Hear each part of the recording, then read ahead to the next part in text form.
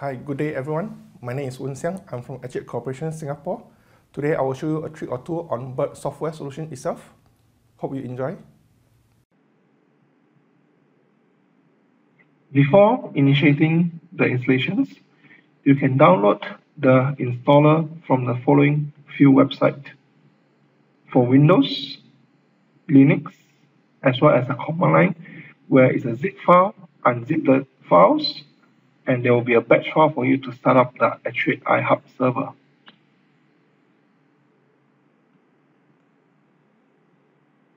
Once you have completed the download, simply run the executable files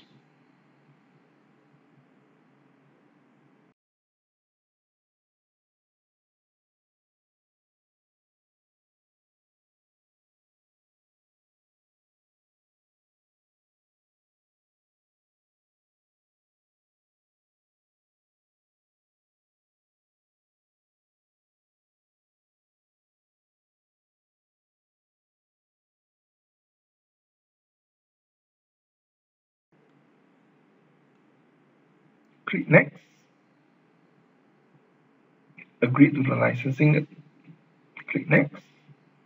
Next.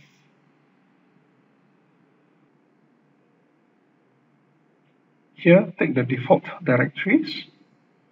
Click next. Install the default postgres. Give it a system name.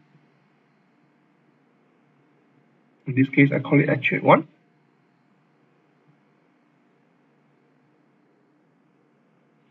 click next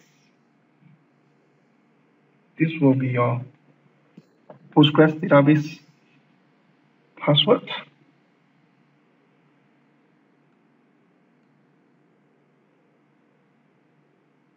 Next. Choose the evaluation license that can last you for 45 days. Next. You can change your time zone and language next this will be your Windows login ID and password that can start and stop services. Next. Give it access right. Next. This will be the Actuate iHub server configuration password. Any password that you choose. Next.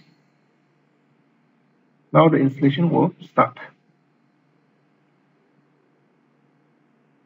You automatically create some link and you can actually install a pgadmin installer to administer your Postgres database. Just take the default, agree the license, next. Default directory structures, next. Finish. Now your iHub has been installed successfully.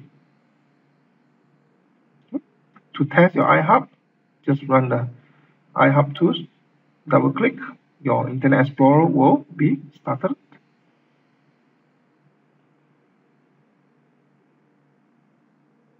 Do a login. The default administrators will have no password.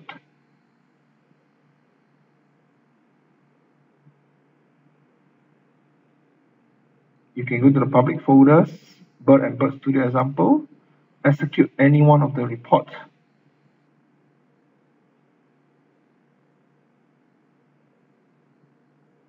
As you can see, with this, your Actuate iHub has been installed and report can be executed automatically.